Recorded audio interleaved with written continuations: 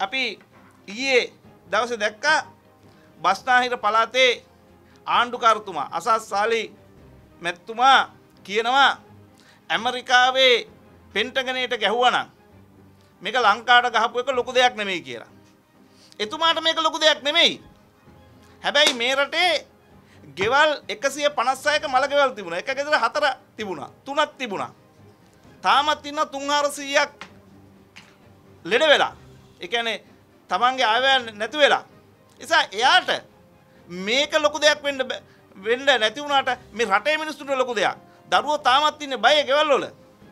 මේ හැමතැනම බැරියල් දාලා පාසල් වල මුර කරන්න යන්න වෙලා. හැබැයි තාම අසස්සාලි කියන්නේ මේක ලොකු දෙයක් නෙවෙයි කියලා. ඒගොල්ලන්ට මේක පුංචි දෙයක් වෙන්න පුළුවන්. රටේ අපිට මේක ලොකු දෙයක්. නිසා අදටත් අහු වෙනවා. IS IS තත්ත්වවාදී දැන් කියනවා පාර්ලිමේන්තුවේ එක්කෙනා හිටිය කියලා දැන් කියනවා තව එක්කෙනෙක් හිටියා කියලා. ඉතින් මේ හැමතැනම අහුවෙද්දිත් මේක පුංචි දෙයක් හැටියට මේ අය දක්වන්න හදනවා. නිසා අපි ජනාධිපතිතුමාට කියනවා මේ ආණ්ඩුකාරවරු දෙන්න අයින් කරන එක ජනාධිපතිතුමාට එක පෑන් පාරෙන් කරන්න පුළුවන් වැඩක්. හිස්පුල්ලා ආණ්ඩුකාරවරයාත් අසත්සාලේ ආණ්ඩුකාරවරයාත් අයින් කරන එක එතුමාට කරන්න පුළුවන්. ඒක නිසා මේ වගේ කතා කියන අය රකින්න එපා.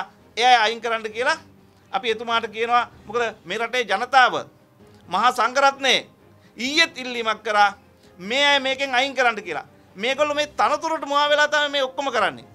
ඒ තනතුර තියෙන නිසා තමයි මේ වගේ ප්‍රකාශ කරන්නේ. නිසා මේ දෙන්න අයින් කරන්න කියලා අපි නැවත වරක් ජනාධිපතිතුමාගෙන් ඉල්ලා සිටිනවා.